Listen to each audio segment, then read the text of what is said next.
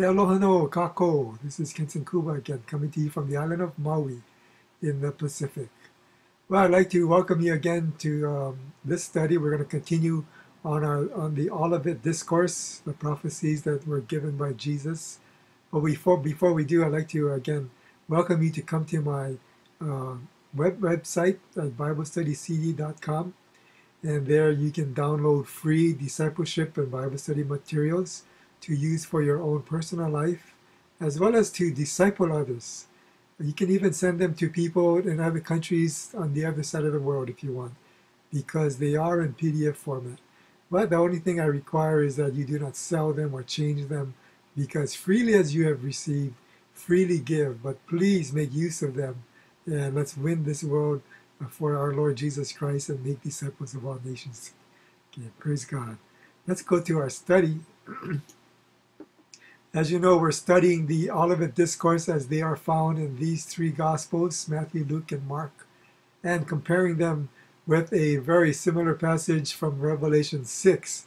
We are not skipping around, we're just following the verses as they come and finding the great similarities between them, especially, well, of course, these three, but especially as they relate to Revelation, and we're going to see that even uh, today's study as well.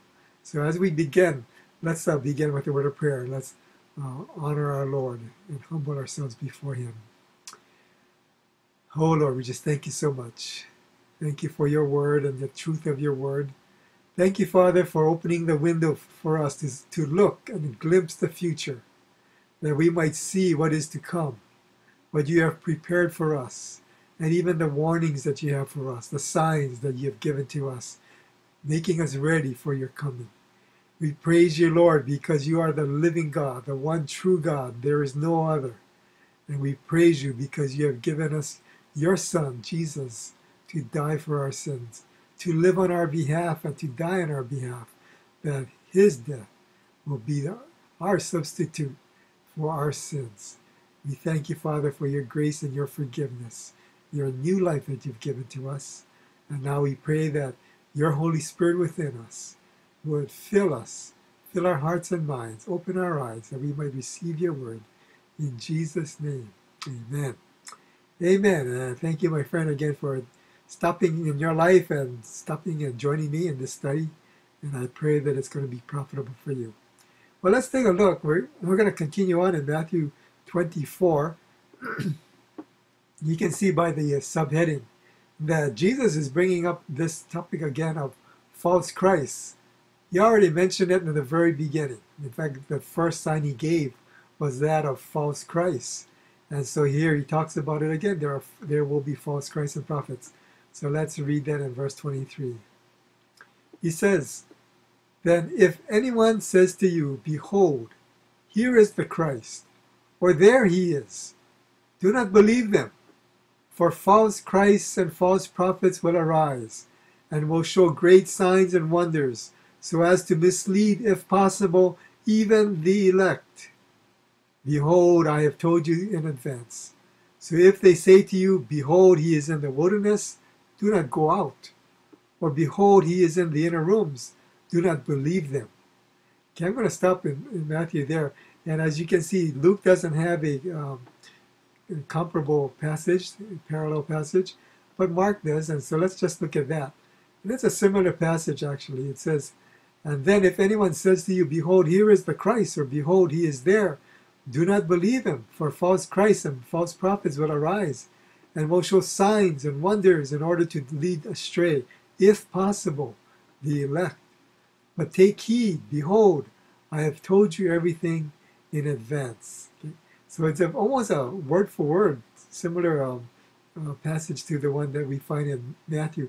And in fact, I, I think you've uh, seen as I have that Matthew and Mark are quite similar, and I would have thought Matthew and Luke would have been, but actually Matthew and Mark are the two very similar ones. So what is he saying here again? Again, he's warning us that there, there will come people who are claiming to be Christ or to be prophets of God, and they will not be.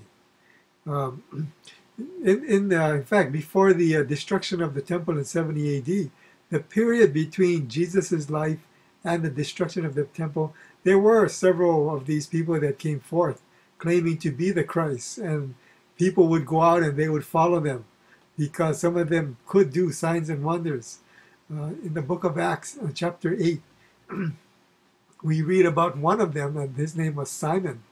And you might remember the story that in chapter 8 of Acts, it tells how the persecution came upon the Christians in Jerusalem so that they were scattered and they went to different regions and areas, in fact, and even different, uh, uh, they, they, went out of the Israel and began to spread throughout um, Asia Minor.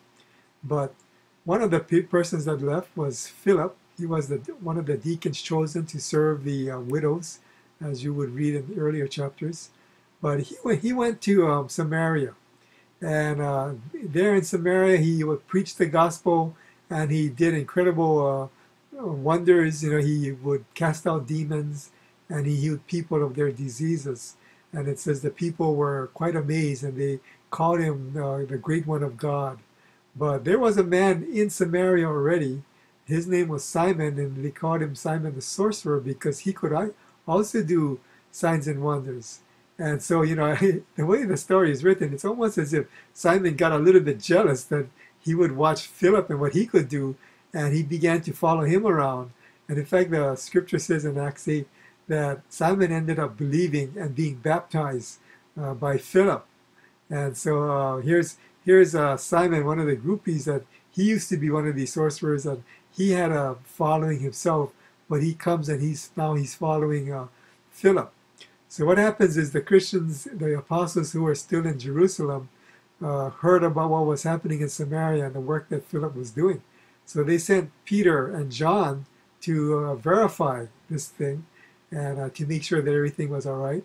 And so Peter and John went to Samaria, and there they met up with Philip, and then they prayed for the believers who had come to faith. And it says that when they prayed for them, the Holy Spirit came and, and indwelt them and filled them.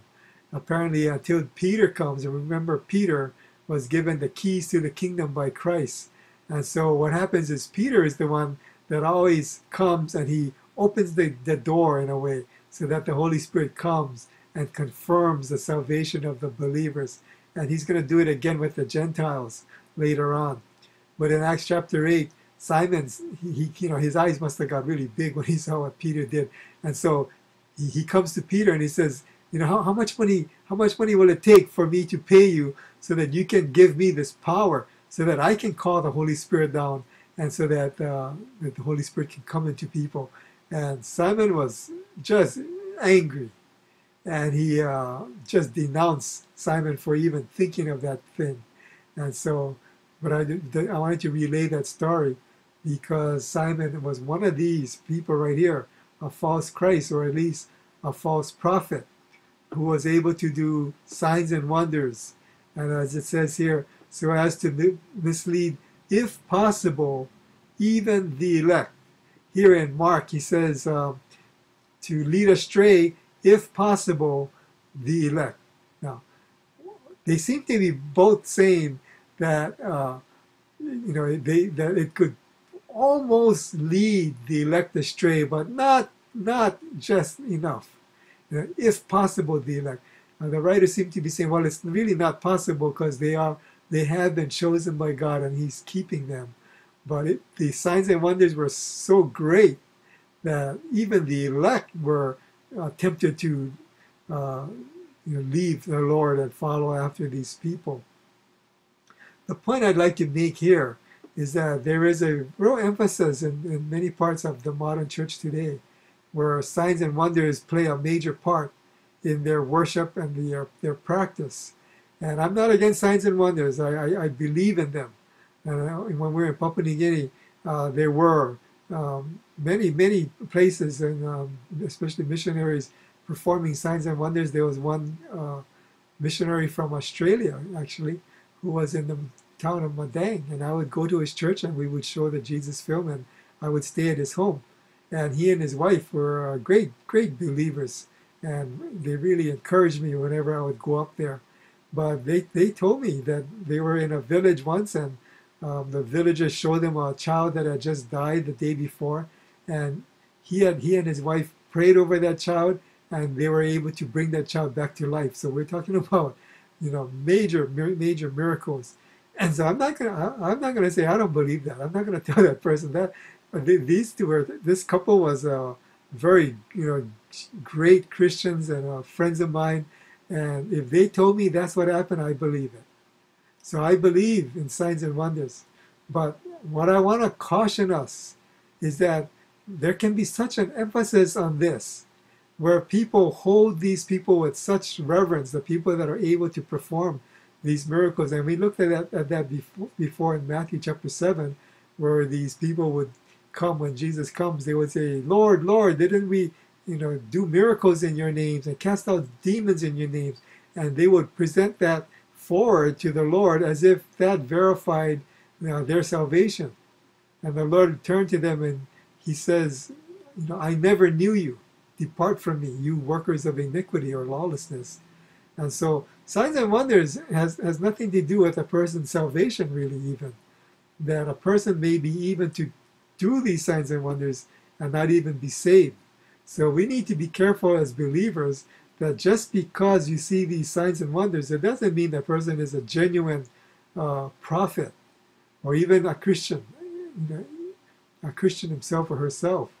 And we need to be very careful about that because the uh, fruit of a genuine Christian is, of course, the fruit of the Spirit. You know, a, a, a life of holiness, because the Holy Spirit will produce that.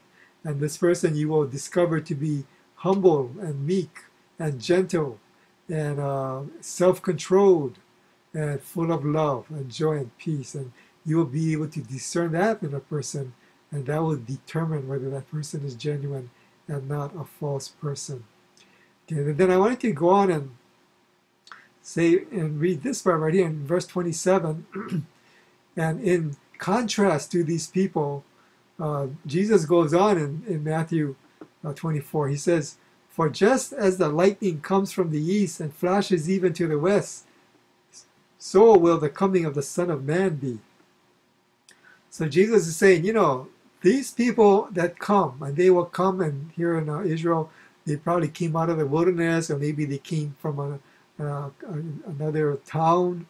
He says, they, they cannot be me, you know, they can't be the Christ, because when I come, it will be as the lightning comes from the east and flashes even to the west. That's that's how you know. So will the coming of the Son of Man be. Uh, you know how when you see a lightning um, flash in the sky, it lights up the whole sky. You know, I mean, you're looking up, and, and Jesus says, "When I come, that's where you're going to be looking for me. You're going to be looking up in the sky for me." Remember when he ascended into heaven? He had his disciples with him. They were on the Mount of Olives, and then the uh, the Lord Himself began to ascend to heaven, and all the disciples were looking at him as he left, and uh, eventually he disappeared into the clouds. And I guess they were all still looking up, you know, trying to see where he was. And then these angels came, and the angel says, "Why do you? Why are you guys looking up? You know, what are you looking up there for?" He says, "This same Jesus which was taken from you will return in like manner, in the very same way." So how do we know who the true Christ is, who the true returning Messiah is? You're going to see him. He's going to come in the clouds, even as the angel said, and even as Jesus said right here. And then Jesus goes on and he says in verse 28, wherever the corpse is, there the vultures will gather. This is a very um, cryptic verse, and uh, Bible scholars are give all kinds of interpretations of this. You know, and uh, some people say, well, the corpse is Jerusalem, and that's where the uh, Jews gathered in Jerusalem. You know, I'm not I'm not going to say my interpretation is the correct one, but I'm going to present to you my interpretation, and it is this: and that the corpse represents Jesus. Because Jesus died. He really did die. How do we know he died? Because he was buried. And after he was buried, he was raised to life uh, by his Father, the God the Father. He is the corpse. This word vultures in the Greek can also mean eagles. It, it, it, can be translated vultures, and they translated vultures here because in context it has to do with a corpse and it would seem it would be the more fitting uh, word to choose. But you could also use the word eagles. Who are the eagles? I'm going to say the eagles are us, we who believe. If you go to Isaiah 40, verse 31, it says, They who wait upon the Lord will renew their strength. They, they will mount up with wings as eagles. And so there is a uh, imagery there in Isaiah of people who wait upon the Lord, people who trust God, that they will be as eagles that will mount up with wings of eagles. And so this could be translated there, the eagles will gather. So what, what are we saying here? Well, Jesus says when he comes back, it's going to be like the lightning that's flashing from the east to the west. And it'll be in the sky, there will be a bright light in, in the clouds. And it will be, he will be the corpse, wherever the corpse is, and it's going to be in the clouds.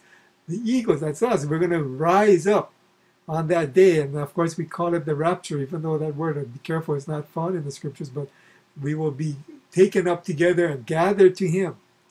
This word uh, right here, gathered, whenever you talk about the rapture, you will see this word as well, that we will be gathered to Him, as we're going to see later on in this uh, Olivet discourse, not today, but later on.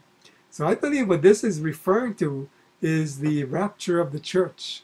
When Jesus comes right here, and, and he's going to be seen in the sky, just as lightning is in the sky. Uh, you're going to ask, well, why does he, they call him a corpse? It's because his body doesn't have uh, flesh and blood anymore. Uh, when he was here, he had flesh and blood, but his blood has all been um, drained because his blood was drained for us. His blood was put upon the altar, and that was the blood that was given for our life.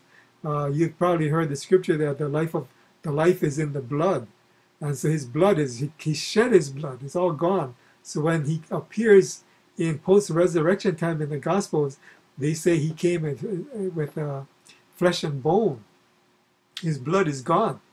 And so, in fact, when he appears in the upper room and Thomas is finally with the other disciples, remember uh, Jesus tells Thomas to bring your finger and, and touch my hands well, what's in his hands? It's the uh, nail print. And, uh, you know, normally uh, when you're alive, your body would heal and it would form a scar. You can just touch it with your hand. But the reason it says, um, Jesus tells Thomas, you bring your finger, is because he could poke his finger in the hole that was still there. Because his body was like a corpse. It was like the one you would find on a pathologist's um, table where he would do an autopsy there is no healing going on in the body. All the injuries are still there as they happen. And so the nail prints were still there as holes in his hand. And actually, I believe it wasn't so much in his hand, but it was here. This is where they would put the nail in, right in the wrist between the radius and the ulna right here. They'd stick it in here.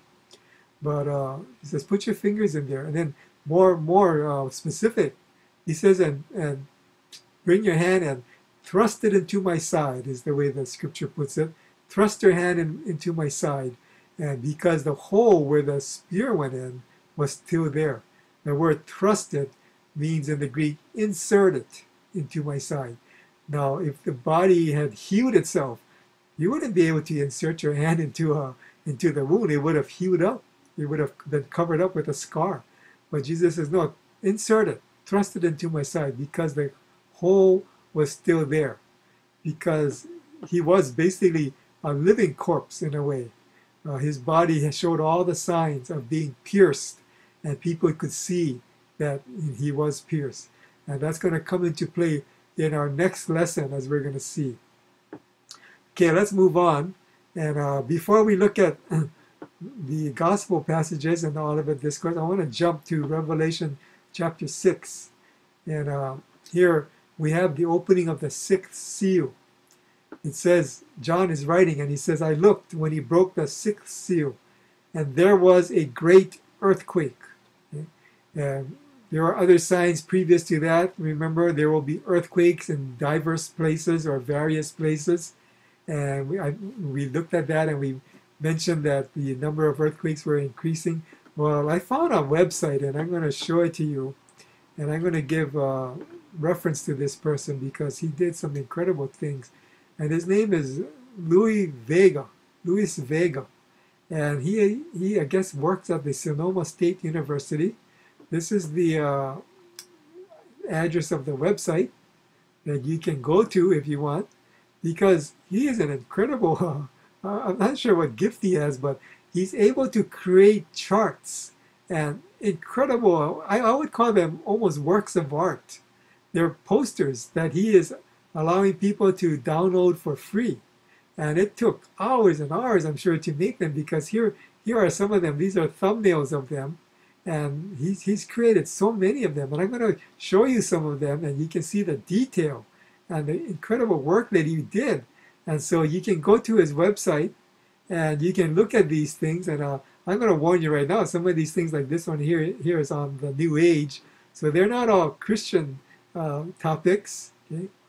Some of these, like this one right here on Planet X, Nibiru, Nibiru is something that comes from a, a woman that says aliens told her about this Planet X that's going to come very close to our planet.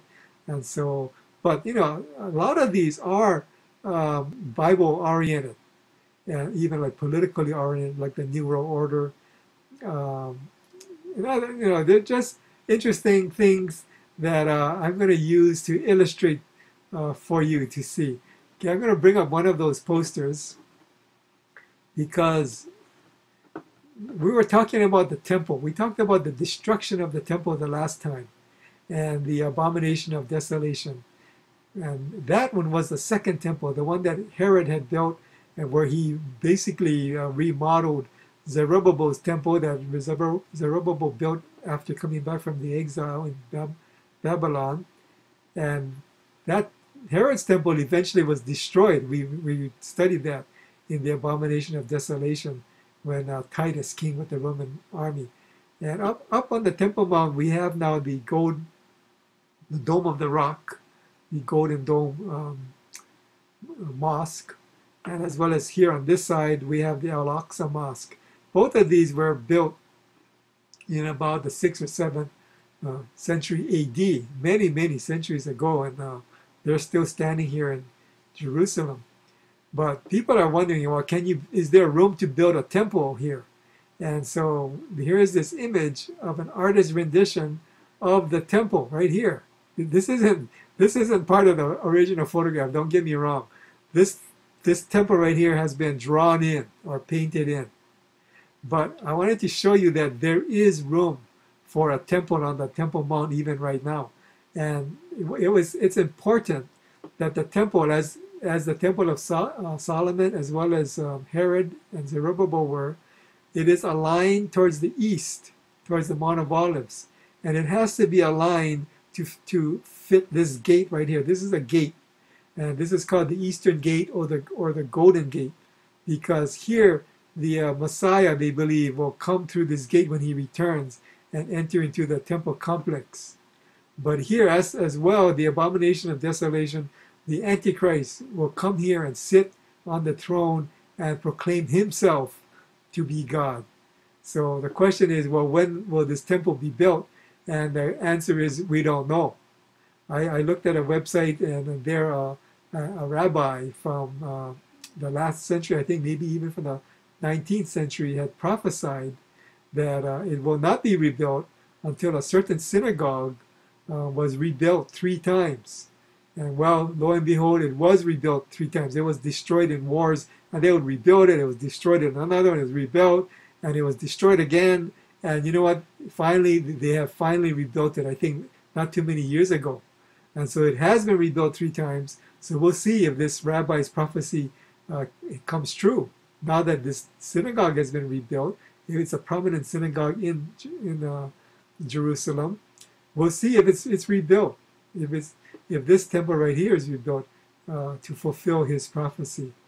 But any in any case, you can see from these images that all of the uh, implements of the temple, the garments, the altar, the uh, table of showbread, the crown, the harps, and all of these utensils, even the menorah, have already been made, and they are already prepared to be put into the temple. You can see here a diagram of how the temple would be. You have here the Holy of Holies place where the Ark of the Covenant was kept.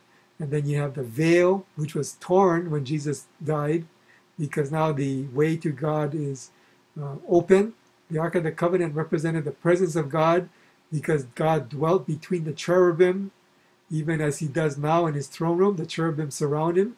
But here, the cherubim were on top of the Ark of the Covenant, as you probably saw in Indiana Jones if you watched that movie. And God's presence, his Shekinah glory, was in between those two angels facing each other. Those two angels facing each other looked down into the box of the covenant. And because in the box were the Ten Commandments, the manna, the bread, as well as the uh, staff of Aaron, because it represented Israel's rebellion against God's law, God's provision, the manna, as well as God's leadership, Aaron's staff. And so these two angels are judging Israel, and in a way, they're judging all of us.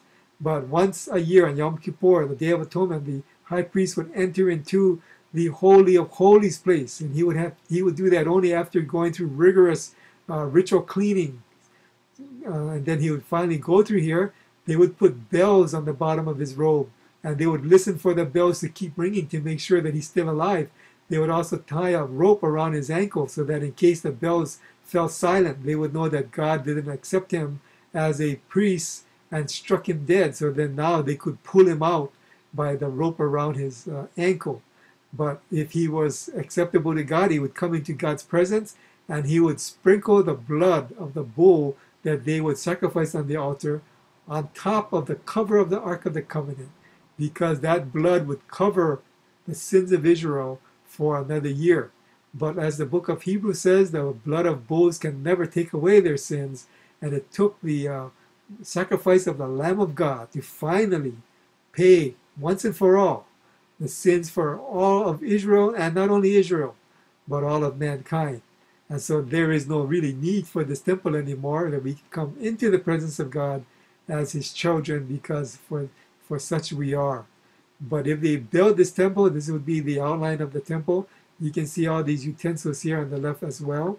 You can see this picture on the right. Now let me raise it up. And uh, these are the two cornerstones that they're going to use. It's already been chiseled out. And behind my image, you can't see it, but behind here, they have a picture of a red heifer that they're going to sacrifice, and, uh, and the ashes of the red heifer will cleanse this temple. But anyway, I wanted to show you this picture as well as this other picture to show you how the temple will be situated. And here is an artist's rendition again. The temple is sitting next to the uh, Dome of the Rock. And as you can see, it's completely aligned with the eastern gate where the Messiah can come through into the temple um, area. And you're saying, well, what, what are all these things right here? These are tombstones. This is a cemetery down here.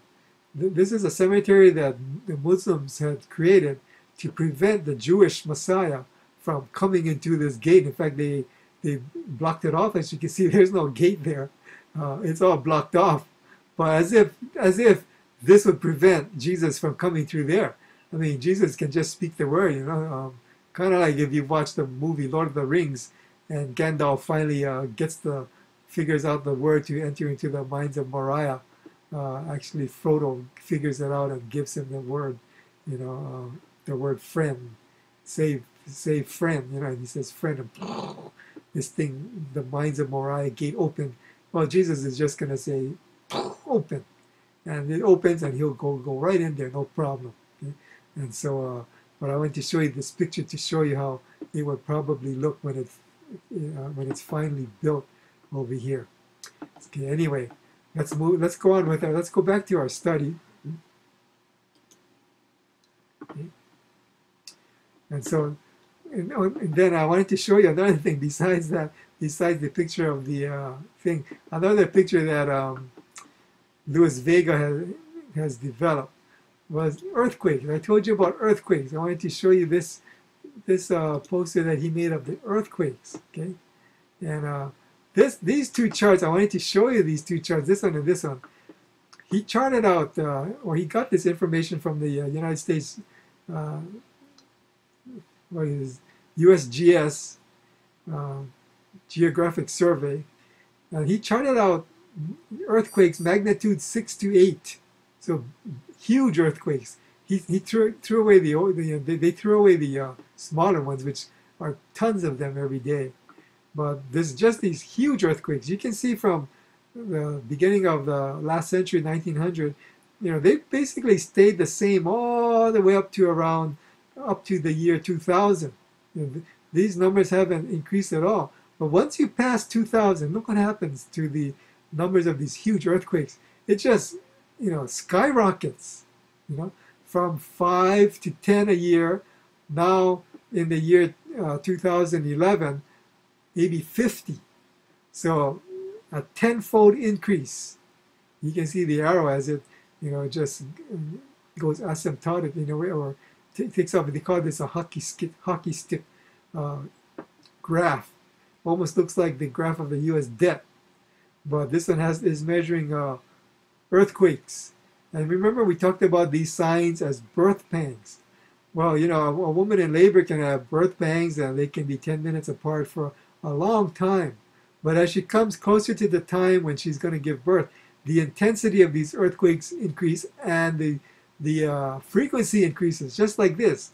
And now, forget the 6 to 8. We're seeing 9.0 earthquakes like this one right here that was in Japan in 2011. And here's a huge one that was also in Chile, 8.8. Uh, there was a large 9.0 one in Haiti right here. And there were others even uh, in other parts of the world. So we're beginning to see these huge earthquakes. And so you can see the, the frequencies of them have really increased. Now, what does it tell you about the time for the birth of the kingdom of heaven coming, of the Messiah's return? What does this chart say about that? You know, you know this question mark right here on California, this person was uh, saying every 188 days a big earthquake hits, you know, somewhere in the the rim of fire. And sure enough, it was it was happening. 188 days, 188 days. But then when he went this way, oh, it didn't happen. Not in California. You know why? Because this one right here, they're waiting for a large one, and people again are having uh, dreams. Not just one or two, but people, many many people are saying they're dreaming, and God is giving them dreams of this huge earthquake that's going to happen to California followed by one that's going to happen here again. It's going to be one in Japan and another one in California. And you're saying, well, Kenson, well, aren't you being kind of gullible? You believe in dreams. You know, I, I never used to believe in those things. I'll tell you the truth. I never used to believe in, you know, signs and wonders and dreams before. But when I was in Papua New Guinea ministering there for six years, I was amazed how dreams, God could speak through dreams. And people gave me specific dreams of prophecy and they came true to the letter.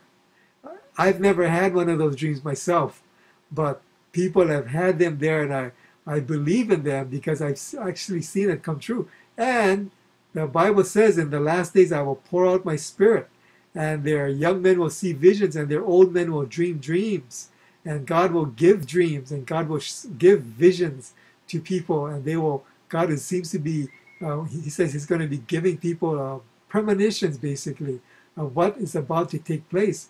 And so people are having these dreams about huge earthquakes in California, in uh, the Northwest, as well as the California coast that's going to cause incredible uh, tsunamis. I mean, you, you can go Google it and read it. Some of those descriptions are beyond, almost beyond belief, because it's going to create incredible destruction.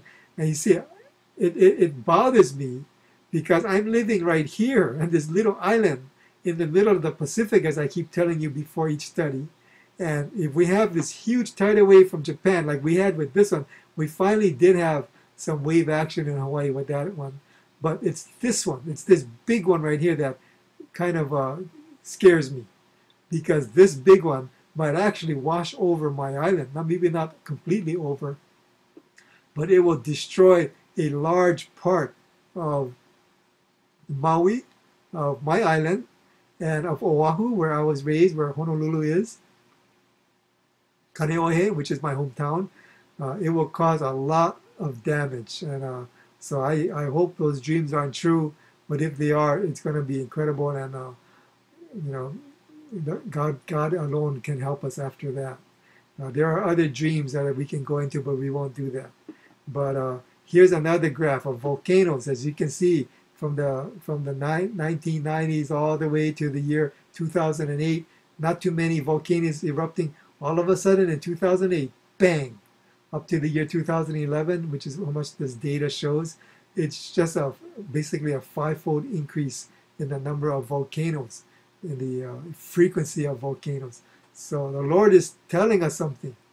The earth is telling us something. The earth itself is is quaking and shaking, as the scripture says, and uh, travailing, as if the earth itself is going to give birth. You know, to uh, and it is because it's going to go beyond the kingdom of the world. Now it's going to be the kingdom of heaven come down to the earth, and so and the earth itself is telling us that it is nigh, it is near, and to be be ready because Christ is coming back.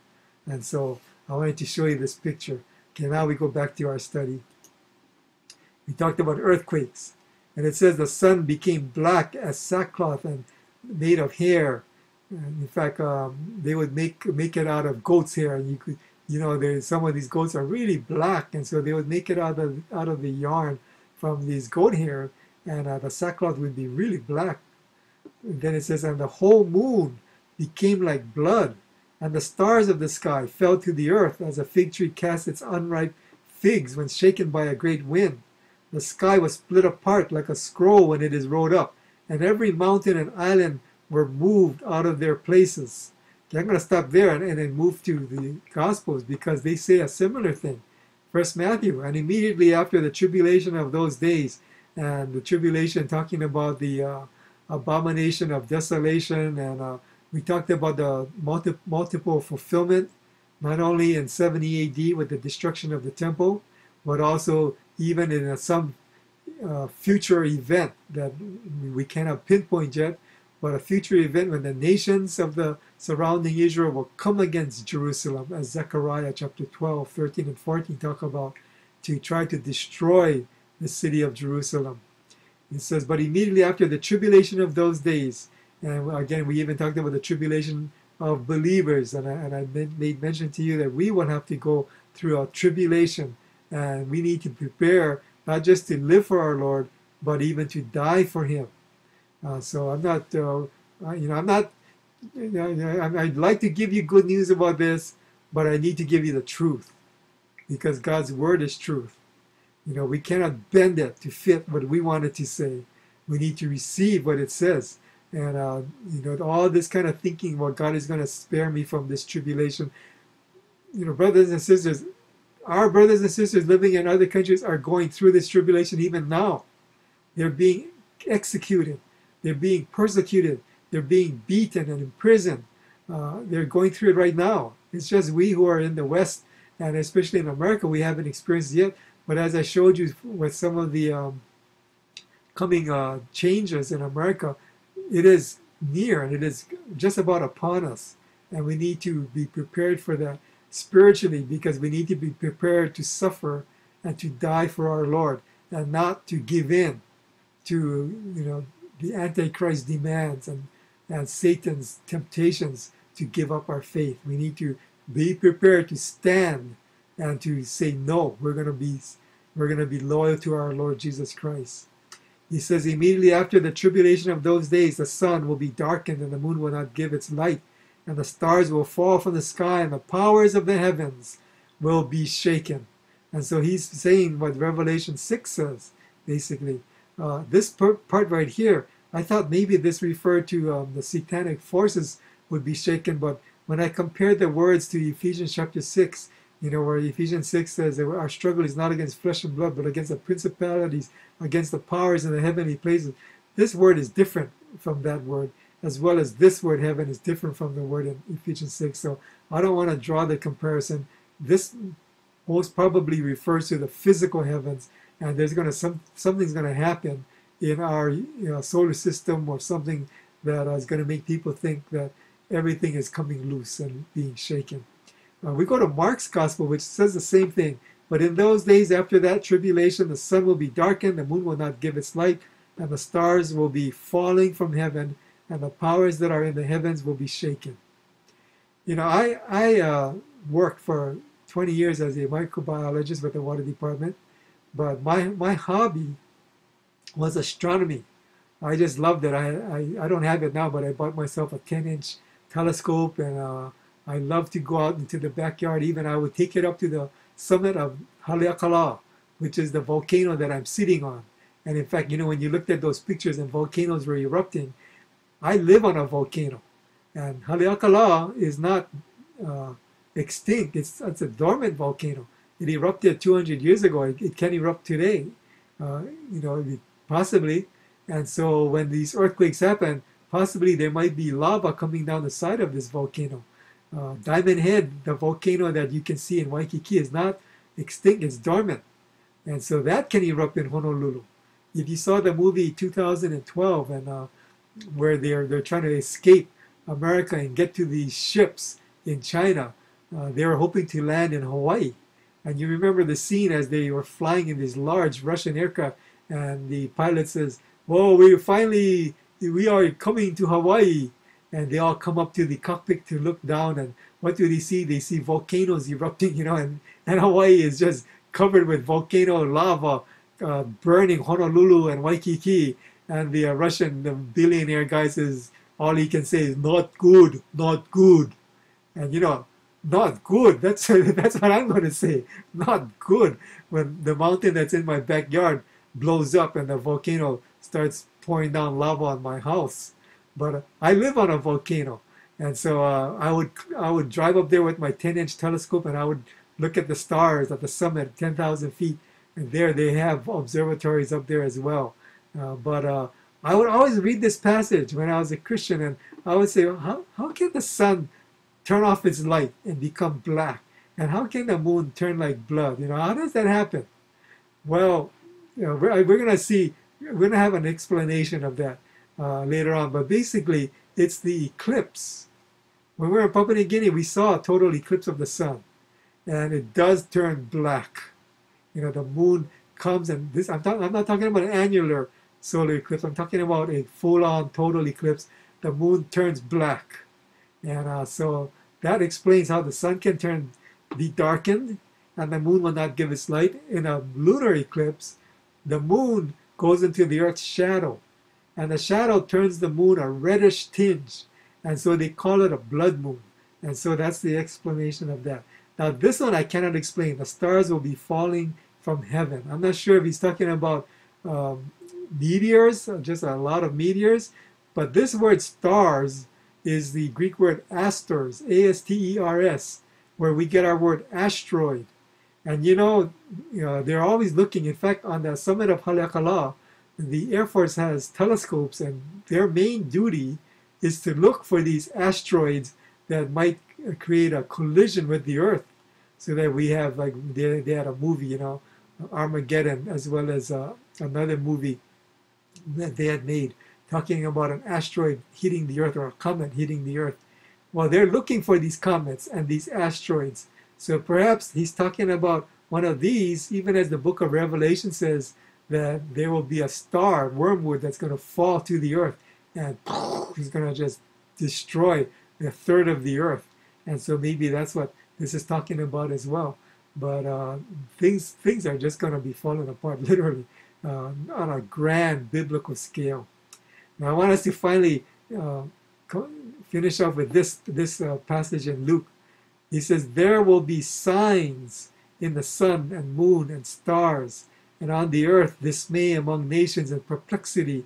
At the roaring of the sea and the waves, men fainting from fear and the expectation of the things which are coming upon the world, for the powers of the heavens will be shaken. And that part he repeats what Matthew and Mark also say. The powers of the heavens will be shaken. Everything is coming apart because, you know, not just earthquakes, but even when you look up in the sky, everything is like, what the heck is going on? You know, that's what people are going to be thinking, and there's going to be fear. And it says right here, and uh, people will be dismayed among the nations in perplexity at the roaring of the sea and the waves. What is he talking about there? I believe he's talking about tsunamis.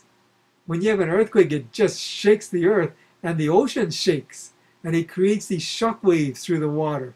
And these shock waves create energy that when it comes up against a landmass, it creates huge, uh, not so much like waves like surfing waves, but tsunamis, tidal waves, they call them. It's just a surge of water that can be, you know, six inches high up to hundreds of feet high, and as some people are seeing in their dreams, even a thousand feet high, which I cannot imagine a wave that huge. But that's what they're saying. And if that's true, it's going to go right over this island of Maui, at least the middle part of our island. And that, would, that might be in reference to this great earthquake that's going to cause this uh, perplexity of roaring of the sea and the waves. But I want us to, uh, in fact, well, let me finish Revelation. It says here, who are these people that are perplexed and dismayed? It's right here. It says, the kings of the earth and the great men and the commanders and the rich and the strong and every slave and free man hid themselves in the caves and among the rocks of the mountains.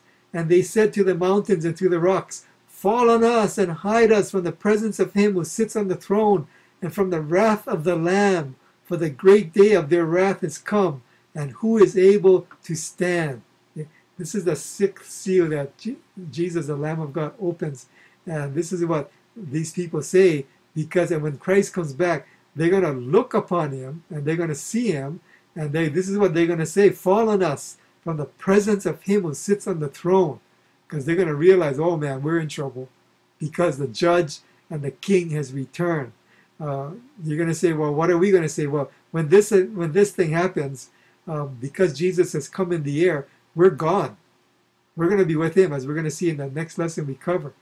But these people are left behind, and so they're going to run to the caves and they're going to try to hide in the caves, and they want the caves to basically uh, cave in so that they can cover them from the wrath of the Lamb and, and the great day of wrath. Of talking about the wrath of Him who sits on the throne. Who's that? God the Father. And of course, on the wrath of the Lamb, and both of them are angry, pouring out their wrath upon the earth. For the great day of their wrath has finally come, and who is able to stand?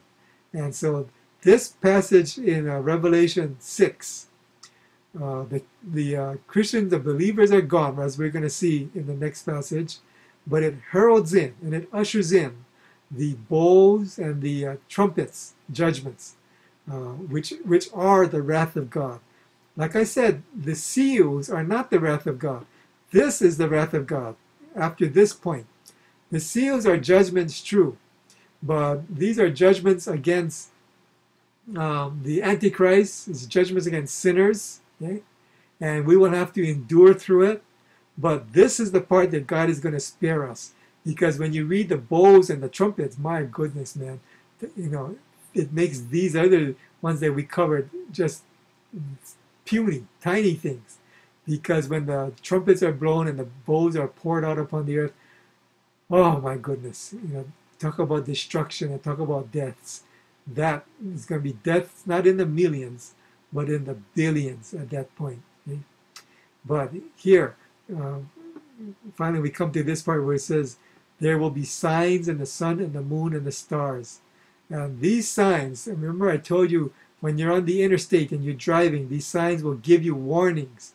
They will give you directions. They will give you instructions. Well, God is going to give these to us.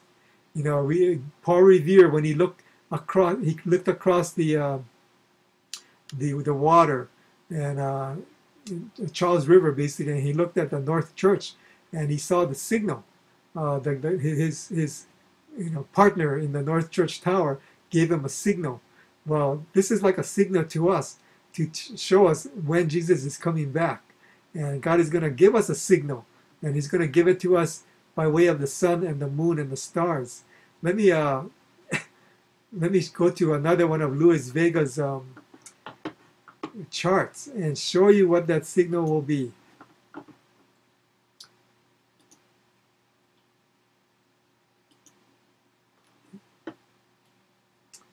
I know I'm going long, and, uh, and you know, I, I hope you can just take a pause and you go do something else and come back to join me.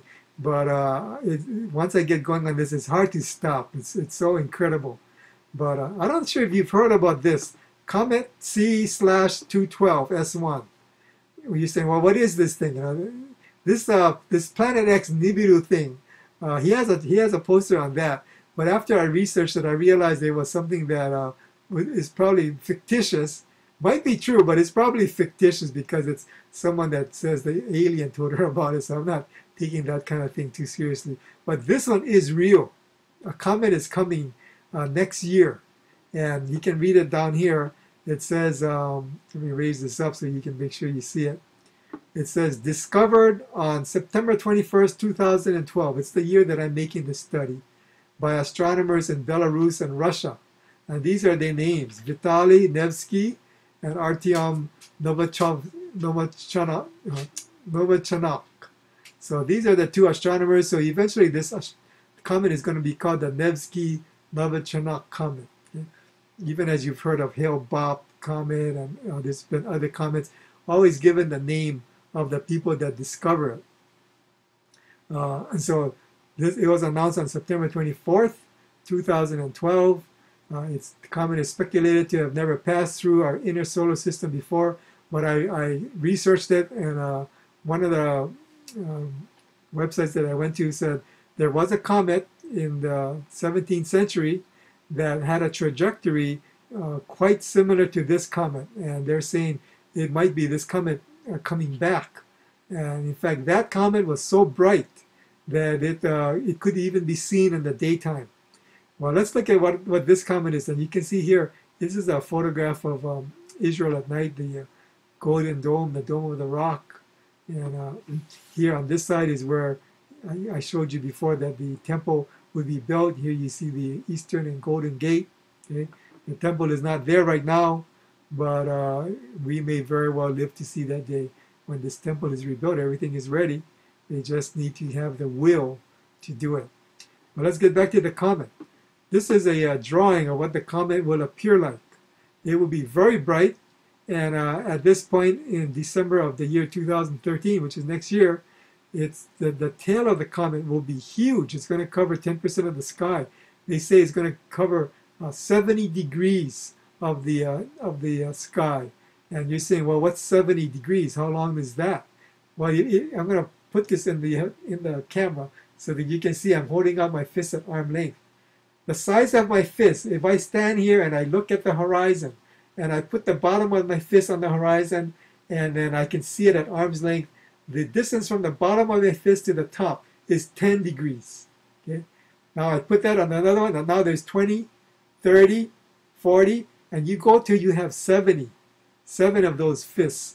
And that's how long this tail is going to be. It's going to be an incredible sight. That's what they're predicting because that's what happened to that comet in the 17th century. When that comet came, it was this beautiful comet, huge tail. You'll be able to see it in the day; it's so bright. Even as you can see the uh, the moon, even though the sun is out, you can still see the moon, can't you? Well, the comet will be like that. So this might be uh, kind of like a picture of the, the stars falling from the sky. It's like a it's like a meteor in stop motion you know, where you can see the trail of that meteor coming down. So that might be an image of the stars falling from the sky. And here you have the picture of, of the, or the date when we're going to be able to see that. It's right here. It's that Comet C212S1 right now. It's going to appear in the latter part of the year two, to uh, next year 213. But what I wanted to bring your attention to as well is the lunar eclipses and the solar eclipses. First of all, the solar eclipses. You see right here, these are all the solar eclipses. There are two partial eclipses, these two. There are these that are annular eclipses. Annular eclipses is when the moon is uh, very close to the earth, so the moon doesn't cover the disk of the sun completely, and you have basically a ring around the darkened moon. And then you have these total eclipses like these, where it's just a perfect fit, and the corona of the sun where the you have the uh, you know the explosions are coming out from the sun, where you'll be able to see those, and you have one here and you have one here, and then you also have one that happened here.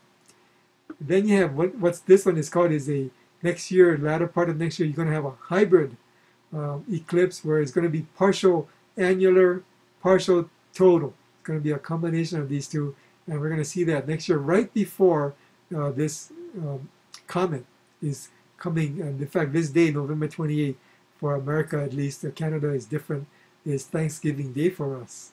But uh, people will be go be able to go out on Thanksgiving night and look at the stars and look at the comet in the sky. Okay, but there's going to be all of these solar eclipses. But I want to draw your attention especially to these lunar eclipses. That's what this moon is. This moon is blood red because it has gone into the shadow of the earth. The sun is directly opposite from the earth from the moon, and our shadow comes upon the moon and it turns it this reddish color. Now, what makes these so significant? Because we get lunar eclipses all the time.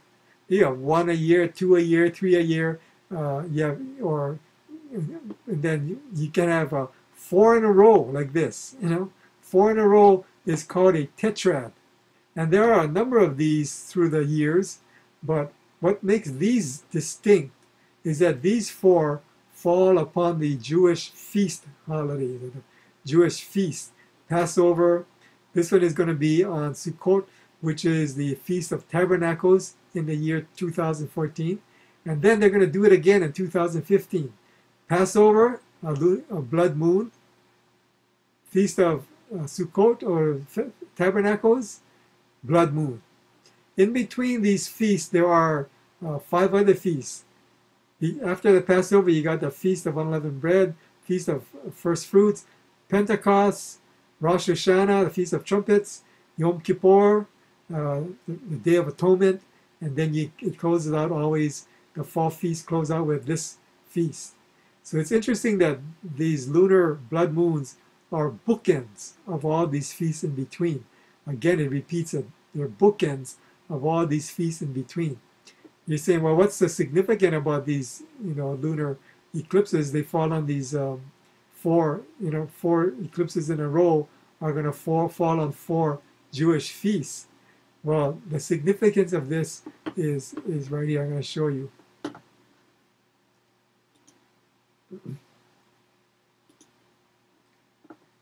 A pastor from Tacoma, Mark Biltz, uh, I, am not sure how he did this or, you know, God led him to do it, I'm sure, but he had heard about the blood moons and he just decided, let me check the records about the blood moons and is there anything significant about them and when they appear? Because as we saw in the book of Luke, that God is going to give us signs. Jesus says these will be signs in the sun and the moon and the stars falling. The stars falling could be this comet. It looks like a star falling from the sky. We saw this all going to be happening with great frequency in the next few years. But what Mark Biltz discovered was that he went to NASA website and there he could see when these lunar eclipses were going to take place. And what he did was unique. He charted this, the Jewish calendar, so that he could see uh, what day fell.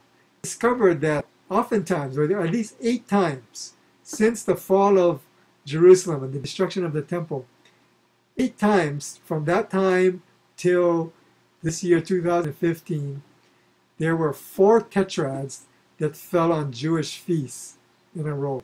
Four lunar eclipses, four in a row falling on uh, Jewish feasts. Uh, he, he, has them down here, and the different years, and then the uh, feast that it falls on Passover, Tabernacles, Passover, Yom Kippur for the next three, and then the last four, uh, as, as we're going to see in 2014 and 15, they're going to fall on Passover and trumpets. Okay. Oh, I'm going to cancel that out. And what he discovered was, here are the first four he discovered. Okay, this was happening during Israel and during a time when it says right here they were being persecuted by the Romans, and they were of course scattered after the destruction of the temple. You have three very closely clustered tetrads, and in this period, uh, the Arabs, the Islamic people that were controlling, the Muslims were controlling Jerusalem at this time. It was about this time, right before here, that they built the Dome of the Rock and the Al Aqsa Mosque, actually. So you had the uh, Jews persecuted by the um, uh, the uh, Muslims. And then the next time you see these tetrads is right here. And uh, he, you know, th th these things right here are um, years that he's calculated and when you calculate these years and you add them all up to the year 2018, they, they add up to 1948, which is the year that Israel uh, gained her independence. So I, this kind of number number thing, I'm not impressed with that because you can do all kinds of things with numbers. So that's I don't I'm not impressed with that. There might be something to it, but uh, it, I, I get skeptical about numbers kind of stuff. But this kind of thing where the moon, the lunar eclipses, that is quite amazing because this one right here, this tetrad, falls in 1493 to 94. And this is right after Spain uh, basically exiled all the Jews that were in Spain. Okay? Uh, at this point in Spain's life, they were having troubles with the Moors, so it was a battle between the Catholics and the Muslims. Right? Now we come to these, these last three tetrads. This first one right here was in 1949 and 1950. And what's really interesting is you can see these tetrads all relate to the nation of Israel. Here, when they were persecuted by the uh, Romans and as well as the uh, Muslims, here they're persecuted by the uh, Catholics. This one right here. In 1949 and 1950, this tetrad happens right after they become a nation again. Uh, the United Nations in 1947 uh, finally signed um, their document that formed Israel, but they didn't uh, get gain their independence until 1948, and then they had to fight a war immediately after that against the nations that surrounded them, and uh, to establish themselves as an independent state. And that's what this tetrad right here, number six, uh, dealt with. And then there is a the, the, next the next tetrad that appears is shortly right after that in 1967 and 1968. And I don't have to tell you that in 1967 they fought the Six Day War, where they gained um, possession of the entire city of Jerusalem. Now, the final one, at least within our lifetime, is going to be is this one in 2014 and 15, and uh, it's, it's right ahead of us. Um, maybe it's, maybe this is past the date when you're watching this video, so you would at that point would have known what's happening here. But people are speculating about this that there is something that's going to be happening with Israel uh, in a couple of years, as far as my my vantage point. That either they will be at war, or uh, you know something will, will be happening in the nation. Maybe the temple will be built, or something about Israel right around this time, 2014 and 2015. The next tetrad in the future doesn't come for several centuries into the future. And so it will not be in our lifetime, nor the next our children's lifetime, nor our grandchildren's lifetime, nor our great grandchildren's lifetime. This this is it as far as anything in the, in the near near future.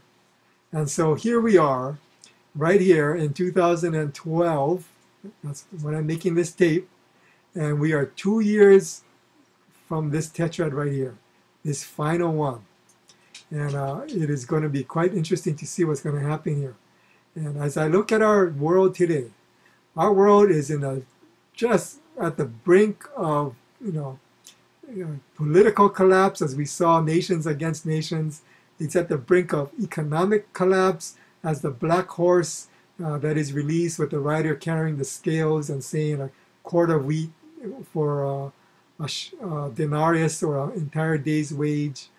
You know, we're at we're as I've shown you with the recent charts, we're at the collapse of our world, where earthquakes and volcanoes and tsunamis are happening at greater frequencies. We could see that, and then we we saw that uh, the I think I showed you last time that Israel is surrounded by nations that are very intent on destroying her so we're close to the abomination of desolation.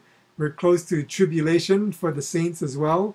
Uh, in fact, we, it is happening even now among many of our brothers and sisters.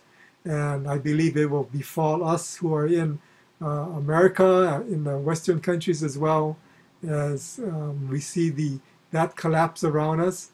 And it, we're, we're, we're like at the uh, precipice. Some people say we're not even at the precipice, we've already gone off the cliff. and, we're actually falling in midair already. That this whole thing is falling around us. And so I showed you uh, the eclipses, the lunar, the solar, the uh, comet that is coming in fulfillment, it seems, of uh, these passages right here. And then the next event that's going to happen, as we're going to see in our next lesson, is Jesus coming right after this thing. And these are pointing to the coming of Christ because right here is foretelling that the wrath is about to be poured out through the trumpets and the bowl judgments. Well, we've covered a lot in this lesson. I know I've taken a lot of time and I, I hope you stuck by me, but you can see that um, those of us who are alive today are seeing these things come to pass. I know there are many who believe that these are things that uh, were completed and fulfilled by 70 AD, but uh, you know that might have worked until Israel became a nation and until Jerusalem was taken again. And you know what scares me is that when you look at these prophecies and people are having these dreams and it's all pointing to the same time. And i don't have to talk about the mayan calendar. I don't you know i'm not sure what that's all about in terms of a destruction of the world. It's more about a change in in uh, in, in um, kind of like the different kingdoms changing from one to the next and there's going to be a new age coming and uh, i remember when i was in college we, we would sing about the the, the dawning of the age of Aquarius. And they said it's going to be in the next century. Well, here we are in the next century, and you can call it what you will, but I know what it is is the coming of the kingdom of heaven to earth because the king is coming and he's returning. I'm going to show you one last thing. And again, you know, you, you're saying, well, Kenson, you're going kind of out on a limb. You know, do, do you really believe these things? Well, I know God speaks in so many different ways. This right here is a prophecy, and at first I thought it was a scam, so I researched it and I tried to make sure that this was a genuine article. I don't want to teach something to you that I know is fake and somebody made up, you know, just to have make fun of us. But this one is true. That there was a rabbi in Germany, and some some say maybe it was more in Poland, but they're right next to each other. The rabbi's name was Judah ben Samuel, and uh, he was a very um, uh, godly uh, rabbi. He was mystical, as that's the word that they would use for him. Uh, some people said that they observed him. Uh, witnesses said when he uh, conducted the Seder supper that the prophet Elijah himself was a participant in that Seder supper, and in fact they saw the prophet with the rabbi in the synagogue as well. So perhaps the prophet Elijah, you know, Elijah came when Jesus was here and he was with him in the Mount of Transfiguration. I believe he's coming again. And perhaps he came to give this rabbi this prophecy to prepare us. But if anybody would know, it would be Elijah, because he, he is a true prophet, and he would speak to this rabbi. Well, right before this rabbi died in the year 20 or 1217, many, many centuries ago, right before he died, he gave a prophecy and his prophecy is the prophecy of the 10 Jubilees. He said that God showed him that there would be 10 Jubilees and then uh, the Messianic kingdom would come to earth. And a Jubilee, and there, there's a difference of opinion on a Jubilee. But some people say it's 49 years, which is seven, seven sevens. Excuse me, I, I keep getting these interruptions. Uh, this my neighbor girl, 10 year old girl, keeps coming and so I, I enjoy talking to her. So she just comes to talk to me. So that's why I keep leaving and I keep coming back. But anyway, let's get back to our study. Um, so this Rabbi Judah ben Samuel is prophesying that he said God told him that there would be ten jubilees. Uh, again, like I said, there's a there's a differing opinions about what a jubilee is. Some people believe it's 49 years, which is uh, seven seven year periods. That equals 49 and they believe that the uh, last year of the seventh um, you know, group of sevens represents the Jubilee year, and then it starts with the first of the next seven, uh, so which, which would be just 49 years each Jubilee period. And then there are those who believe it's a 50 year period. After you have the seven, seven years, which is 49 years, the 50th year is a Jubilee. And after that, you begin the uh, next group of 49 years. So each Jubilee period is 50 years. Well, you know, I believe it's a 50 year period because if this prophecy is, is true, then this one is based on the 50 year Jubilee. Uh, it doesn't make sense to me that you would have a Jubilee period that's part of a, a part of a group of sevens already. That you would, the Jubilee year would be a year by itself. It's kind of like, um, you know, when, when you have this, the uh, week you have six days, and then the seventh day is the Sabbath. And uh, if you call the Sabbath um, the first day of the next week, and then the next week is you're already shorting the next week. So the Sabbath, there's one Sabbath in every group of sevens, and so in every group of seven sevens, you would have a, a jubilee year after that, and then you'd have a separate group of seven sevens. But anyway, his prophecy of 10 jubilees has to do with 10 50 year periods. And what his prophecy said was he didn't know the dates, he didn't give any dates. But what he said was that Jerusalem would be ruled by the Turks for 400 years or eight jubilees. That's what he said. It would be under the control of the Turks for eight jubilees. So one, two, three, four, five, six, seven, eight. And then in the ninth jubilee, uh, there would be no man's land. The Jerusalem would be no man's land. So right here. And then in the tenth, tenth jubilee, it would come back under Israel's control, which is really interesting because even as he gave that prophecy in 1217, uh, there was no Israel at that time. It was Palestine, and the Jews were all scattered throughout the world. So he was actually prophesying that Israel would come back to the land and control the city of Jerusalem again. So what happened in history? Well, 300 years after he died, he died in 1217. He gave the prophecy in that year that he died. This is 300 years after he died. The Ottoman Turks took control of Jerusalem. And so from 1517, they were in control until in World War I, the British general George Allenby came and he walked into uh, Jerusalem on the Feast of Hanukkah. And actually, they say he walked in there without a shot being fired because the Ottoman Turks had uh, abandoned the city. And he took control of the city. So, how many years is this? Incredibly, it's exactly 400 years. It's exactly eight jubilees, even as Rabbi Judah ben Samuel said.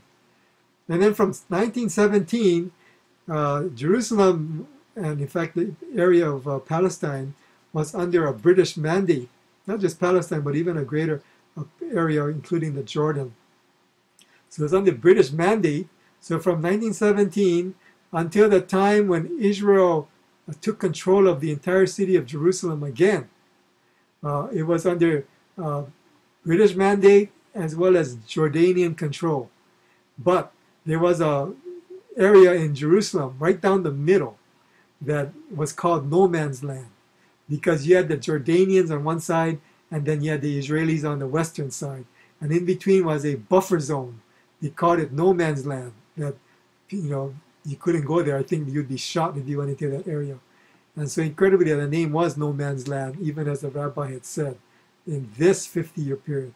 From 1967 to 2017 will be the 10th Jubilee period, and it is under now Israel's control even as the rabbi said it would be. So here, uh, what I what I like about this prophecy is that anybody can say, well, in 2018 or 2024, this is such and such will happen. How do we know if his prophecy is credible? Well, what they, what they would do in the New Testament time to find out if a prophet spoke presumptuously or if he was a true prophet was they would make him give a short-term prophecy so that they could see if he could foretell a short short-term event that they could verify and then his long-term events could be considered um, uh, true or credible. When i worked in the laboratory we're always looking for the unknown in, in, in our tests for chemistry chemical uh, contaminants how do we know when we find an unknown and how can we trust that the amount of what of our discovery is true. Well, the way we discover that and the way we determine whether the instrument is working correctly, whether our methodology is correct, whether our re reagents are working properly or if they're expired and no good, is that we would run these uh, controlled samples, we call them. These are samples where we know what the results should be, and they're already pre-made. And so we would run these controlled samples in various ways so that when we finally came to the unknown sample, which we took from the, uh, you know, the water distribution system or from the uh, reservoirs, when they gave the result, we could see whether our methods, our reagents, our instruments were working properly because they would have to give us the correct answer on the known subs the known controls, and if they did within a certain parameter, usually within 10% of the known amount, then we could trust that the unknown amount was correct to within 10%. Same thing with prophecy. How can I know whether his prophecy that the messianic era is going to start after 2017 is true? Well, what he does is he gives he gives us intermediate or short-term prophecies. And if these don't come true, then forget about this long one. You know, if he cannot even foretell these short ones, then we have no faith in this long one. Here's a scary thing about what he said. This came true, this one came true, and this one came true, or it, or it is the process of becoming true because Israel is in control. Now, these are like the control samples that I run in my chemistry lab. These, these samples came out not just within 10%, but 100% recovery. And that tells me that his long-term prophecy of the messianic age starting at, in the year 2017, with all probability, in all probability, will be 100% fulfilled. What does that mean to us today? This is 2012. This is telling me that I have five more years. If this, if this rabbi's prophecy is true, I have five more years before Christ comes back. That isn't much, much time. You know, I've been telling people uh, for years now around me that Jesus is coming soon, and they think I'm crazy. You know, I said we need to get ready. You need to get ready spiritually. They think I'm crazy, but this prophecy right here that God is revealing to us right now is is is like God telling us He's coming. He's coming now. Um, I would tell my wife, you know, that Jesus is coming soon. I just sense it. I believe it and then she would go, you know, to church, and then the, our pastor's wife, who actually is a uh, Jew, Jew, Jew from uh, Iran, her family escaped. She's actually Persian. She speaks Farsi, but she would always say, "No, he's not coming soon. He's not coming soon." She would tell my wife, and then she's just recently she told my wife, "You know, I I had a dream, and the Lord told me He is coming very soon." And so she told me she told my wife, "Tell your husband that he's he's right, that Jesus is coming very soon." And I, she's not the only one having these um, premonitions or these dreams, but others are as well. Uh, you know, this date right here is the most firm date I can see. There are other people, and uh, let me let me throw up this chart again.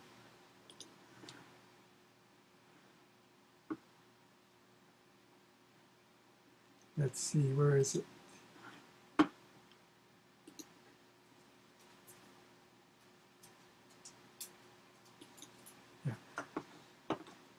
Let's get a closer, let's, let's get a chart with a closer view. And it's this one. Going to bring this thing up. This year of Jubilee right here, and by the way, the blue, the blue line right here is the different years in the Gregorian calendar. So we are right here in the year 2012, right in September when I'm making, or October, I'm making this study tape. Okay? Uh, we're, we're going to be having a total eclipse soon right here, I can see in the year 2013, I tell you the uh, comet is coming. And then in 14 and 15, we're going to have these series of lunar and solar eclipses. Well, this year right here, the Jubilee year, I tell you, is the 50th year. And many people believe Jesus is coming in a Jubilee year. Okay? In a Jubilee year. Because when he first came uh, 2,000 years ago, he said, The Spirit of the Lord is upon me, and he has anointed me to preach the good news to the poor, sight to the blind, to encourage those who are mourning, and to proclaim the favorable year of our Lord. The favorable year of our Lord, many believe, and most people believe, is the Jubilee year.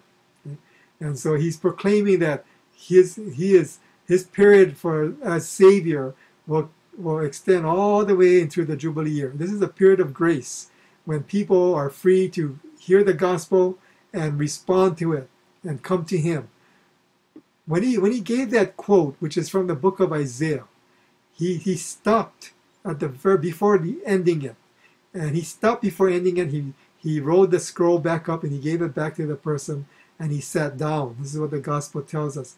He left out the last part because after he says to proclaim the favorable year of the Lord, the next very next line would have been, and the day of vengeance of our God. The day of vengeance is what we saw uh, in the book of Revelation 6 when people said the day of wrath is come because they could see the one sitting on the throne and the wrath of the Lamb, you know, is, is they're going to pour out their wrath upon the earth. And that starts right after this Jubilee year. And so he's going to come in a Jubilee year. And right after he, at that moment that he comes, he gathers his saints and then begins the wrath of God and the judgments of God, ushering in his kingdom. He's going to clean house, basically. He's going to get rid of sin and sinners. And at that point, he's not Savior anymore. He's judge, jury, and king. And if you don't know Christ at that point, you're out of luck. The, the, the uh, deadline has passed, the door has shut, you're on the outside. And now judgment is coming, and there is no hope, absolutely, for people who have not come through the door from through the way that Jesus is. No hope at that point, and vengeance is all they will see from him, the wrath of God. And that will start here. Now, Rabbi uh, Judah ben Solomon, Samuel, says it's going to be more like here. And so I've seen different you know, calculations that says, yes, the Jubilee year is further back here, not in 2016, but it will be here instead. And so that would fit in with his with his prophecy. Prophecy. In any case, we're going to see these heavenly signs. We're going to see the star falling from the sky, and maybe there will be others as well. And all of these signs are happening right now, all pointing to the time when Jesus returns in the Jubilee year, and he's going to gather us to himself. And that's going to be the topic of the next lesson. And so we're going to keep it at that. So let's pray. Oh, thank you, Lord, so much for so much for showing us the signs. I pray, Lord, my friend and I will be ready and prepare ourselves spiritually for that day. We will prepare ourselves spiritually to live for you and to die for you, if that be your will. And we give to you, you our lives. Glorify yourself through us. In Jesus' name. Amen. I'm sorry to go so long this time. I pray it's been a blessing for you. And uh, we'll see you in the next lesson. Please join me. Uh, no, malama pono. God bless you.